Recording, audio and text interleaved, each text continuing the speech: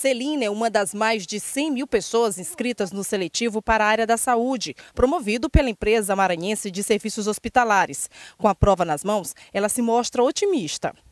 Foi boa. Tudo que eu estudei tinha na prova. E bem elaboradas as questões. O seletivo já é considerado o maior realizado nos últimos 20 anos no estado. É uma grande oportunidade para os profissionais da área. Os aprovados vão atuar em hospitais e unidades de pronto atendimento nas regionais de São Luís, Imperatriz, Codó, Presidente Dutra, Santa Inês e Timon.